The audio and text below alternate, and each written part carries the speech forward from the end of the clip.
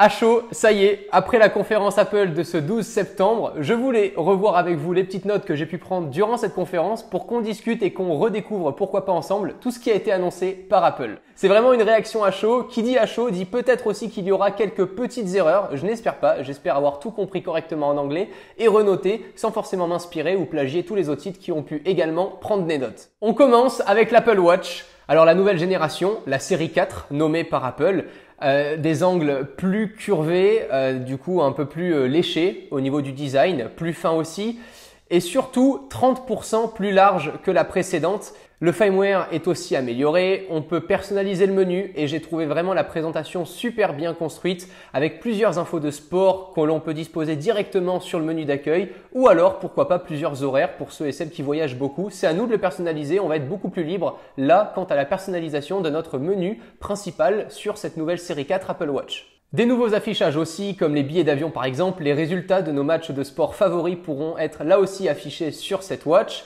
Les haut-parleurs, une belle amélioration sur les haut-parleurs sur cette watch, 50% plus puissant pour les appels et notamment Siri. On a vraiment l'impression que notre watch va de plus en plus, pour certains en tout cas, remplacer notre smartphone dans des situations comme le sport ou même, euh, j'ai envie de dire, à la piscine, puisque on va pas encore à la piscine avec notre téléphone. Enfin, même s'il y a des nouveautés sur euh, les téléphones là cette année, mais c'est pas pratique de nager avec un téléphone dans la poche, on est d'accord. Évidemment, cette montre est waterproof comme l'ancienne génération. Le micro aussi est maintenant déplacé et amélioré pour que Siri nous comprenne bien et lorsqu'on appelle aussi des collègues directement avec la montre, on nous entende correctement et qu'on n'ait plus ce son un peu étouffé qu'on avait auparavant.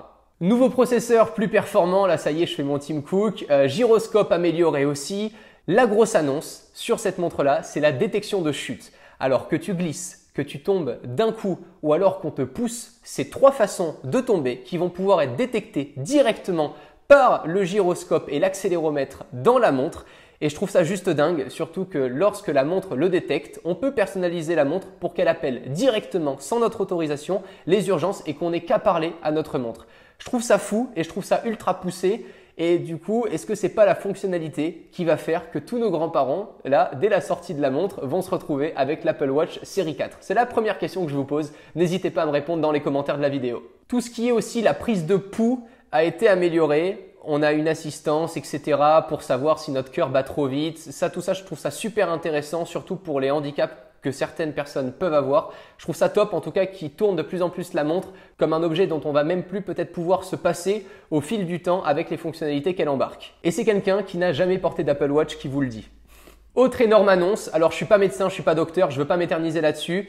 Il y a, mesdames, messieurs, un électrocardiogramme dans l'Apple Watch série 4. Alors toutes les données qui sont personnelles et qui vont être calculées ne seront pas partagées. Ça a été officialisé et dit par Apple durant la conférence. Elles vont être soit stockées directement dans notre produit ou alors dans le cloud qui est crypté et qui n'est pas accessible aux autres personnes si ce n'est que vous. Du Bluetooth 5.0, du waterproof comme je l'ai dit. Et on a la même autonomie qu'avant sur cette série 4, un peu plus d'une journée annoncée par Apple.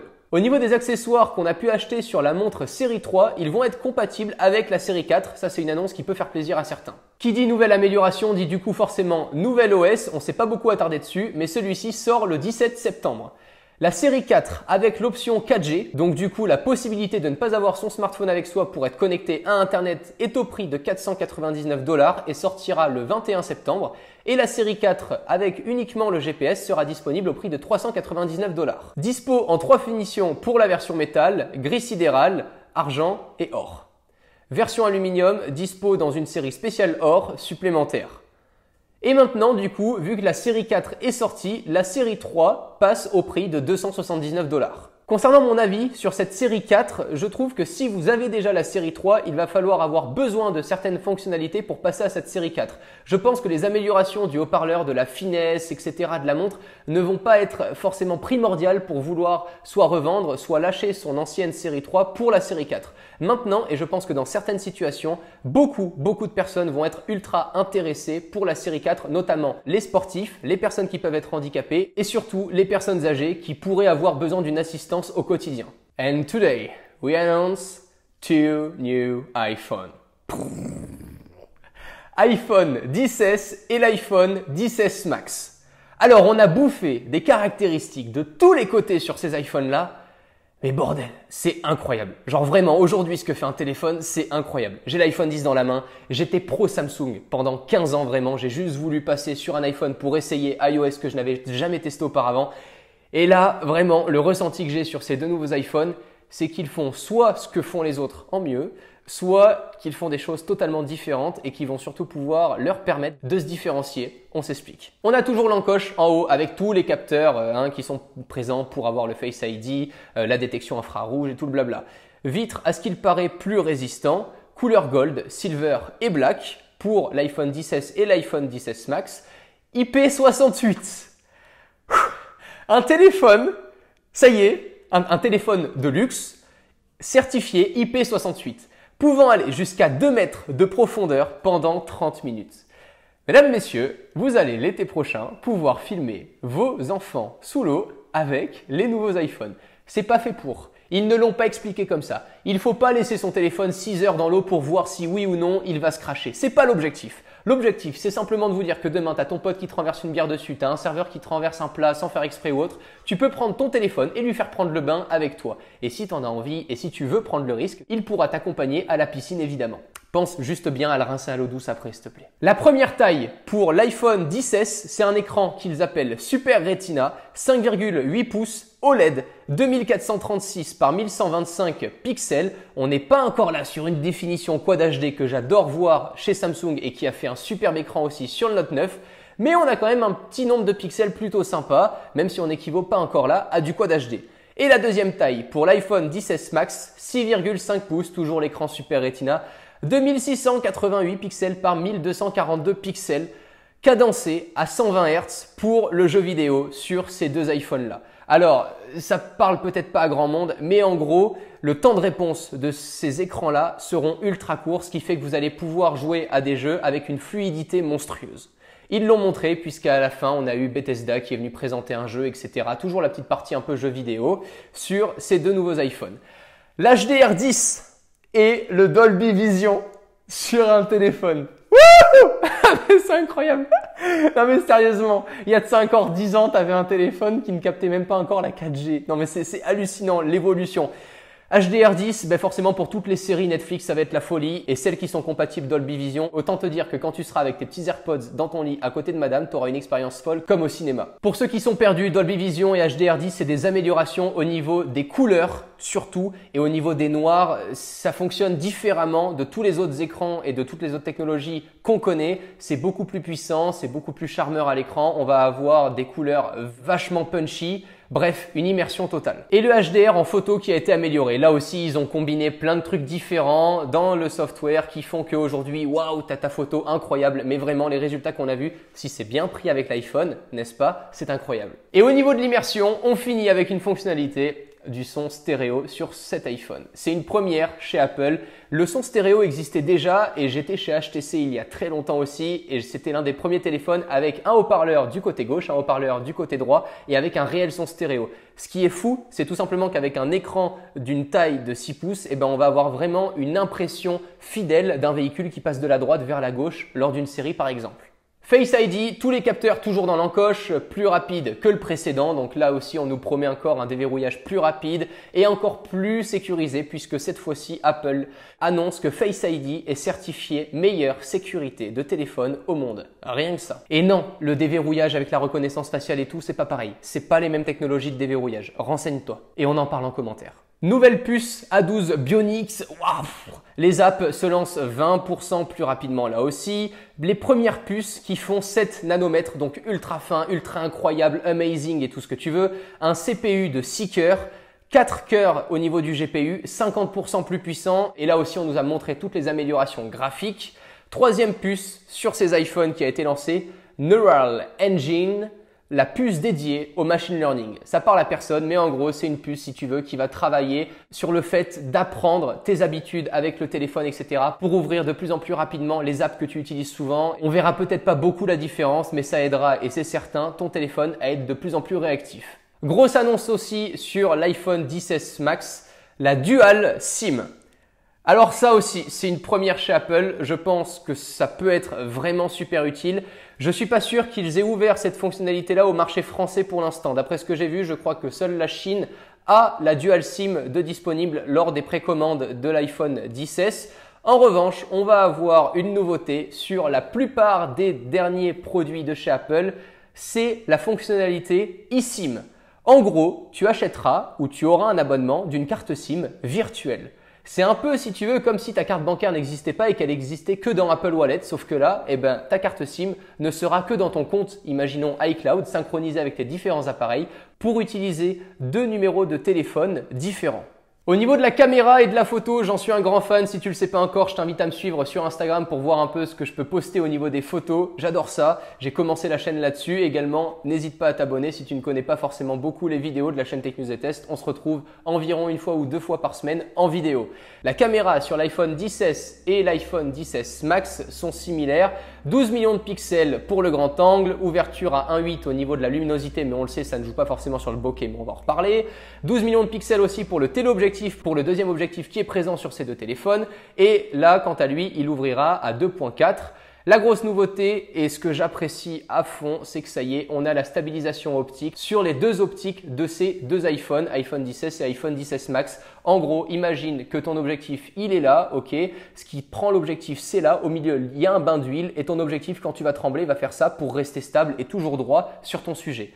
Ça fonctionne vraiment bien et ça ne dégrade pas l'image. Caméra frontale de 7 millions de pixels, mais ça on s'en fout. Amélioration automatique avec de nouveaux calculs, processeur travaillant sur l'éclairage des visages, le tracking des visages, etc. C'était la folie là aussi quant à la présentation. Smart HDR annoncé. Une nouvelle fonctionnalité du HDR, High Dynamic Range. Tu le sais, on prend une photo en basse luminosité, une photo en haute luminosité, une photo normale, on combine les trois et on a des super détails. Le Smart HDR va vraiment avoir là la reconnaissance du sujet.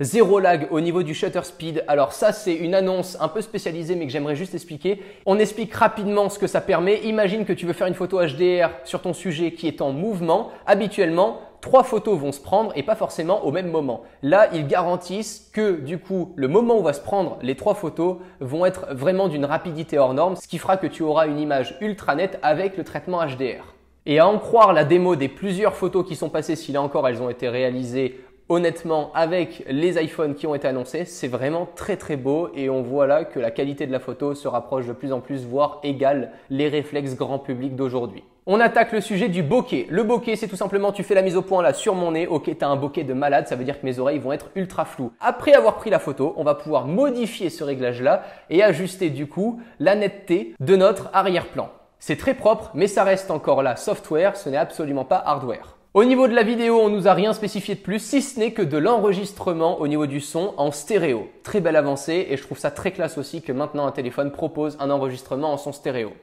Les nouveautés dans le firmware, Siri Shortcut, AirKit 2, je te laisserai plein d'infos également en description pour que tu puisses vraiment voir et approfondir les nouveautés au niveau des softwares. Je préférais m'intéresser au hardware dans cette vidéo pour éviter qu'elle soit trop longue. Au niveau des prix pour ces deux nouveaux iPhones, l'iPhone 10s du coup est dispo en 64 Go, 256 Go ou 512 Go. Attention, on ne pourra pas rajouter là un stockage extensible. Cependant, je pense que ça suffira à tout le monde. On part sur un prix à 1159 euros puis 1329 euros pour la version 256 Go et 1559 euros pour la version 512 Go. Nous y sommes, 1600 euros pour un téléphone. Bon, fais le calcul et regarde combien de temps tu l'utilises à l'année. Je pense qu'au final, le prix de la location de ton téléphone à la journée n'est pas forcément si cher que ça pour l'utilisation que tu en as.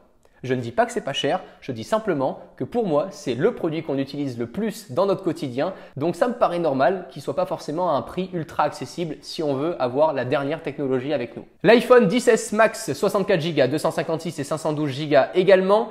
Là, on part sur les mêmes prix que l'iPhone 10s, mais on rajoute 100 euros à chaque fois. Nous avons donc au final un iPhone à 1700 euros. Et finalement, ce ne sont pas les deux seuls iPhones annoncés. Apple ressort son, idée de vouloir faire un iPhone plus accessible et je trouve pas ça si mal que ça. Je trouve franchement que c'est pas une mauvaise idée. Maintenant, à voir comment il va se placer sur le marché. L'iPhone 10R. Alors, il y a plusieurs couleurs. Là, on a la ribambelle de couleurs blanc, noir, orange, jaune, gris, bleu. Voilà, je pense que ça suffit. Écran LCD, dit Liquid Retina. Ok, ça reste un écran LCD, c'est normal. 6,1 pouces, 1792 pixels par 828, un écran plus grand qu'il y avait sur l'iPhone 8 Plus, tout en ayant un smartphone plus petit que l'iPhone 8 Plus. Comme quoi on peut le voir, les bords d'un téléphone aujourd'hui deviennent de plus en plus fins pour laisser place pleinement à l'écran. On a toujours Face ID, on a également la puce A12 qui est dans ce téléphone là. En fait, on a exactement les mêmes fonctionnalités et on a accès aux mêmes technologies au niveau du software que sur l'iPhone 10 Tout ce qu'on a en moins, c'est le téléobjectif, principalement, hein, il y a d'autres choses, mais le téléobjectif, on n'a pas deux objectifs, mais un seul à 12 millions de pixels qui comporte les mêmes caractéristiques que l'iPhone 10 ainsi que l'écran qui est forcément de moins bonne qualité sur cet iPhone 10R.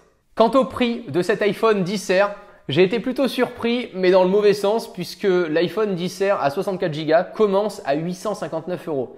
Je trouve ça cher pour un téléphone qui est dit moins sophistiqué que les autres. Au final, il n'y a pas une si grande différence de prix. Certes, il comporte des super bonnes technologies et rivalise aujourd'hui avec limite un iPhone 10, je trouve, sauf au niveau de la photo où on ne retrouve pas les deux objectifs distincts. Mais par rapport au marché actuel, est-ce qu'un OnePlus ne va pas correctement le concurrencer? Je parle même pas de toute la gamme qu'on a chez Samsung. C'est à voir, j'attends qu'il sorte et que je me rende réellement compte de la puissance de ce joujou. Du coup, tous ces iPhones, enfin ces trois iPhones, bah, ils font qu'on dit au revoir à l'iPhone 10. Ça y est, l'arrêt des ventes est officiel pour l'iPhone 10. Cet iPhone est collector. iOS 12 sort le 17 septembre. Au niveau de la sortie des téléphones, le 10S sort le 14 septembre pour les précommandes et sera chez toi à partir du 21 septembre. Pareil pour l'iPhone 10S Max. Et au niveau de l'iPhone 10R, on est sur une précommande le 19 octobre. Wouh voilà, c'était tout concernant cette conférence. J'espère que ça t'aura plu d'avoir ce petit résumé en ma compagnie. N'hésite pas à t'abonner à la chaîne si c'est pas déjà fait. On se dit à très bientôt dans une prochaine vidéo et à très vite sur les réseaux sociaux. Prenez soin de vous. Ciao tout le monde.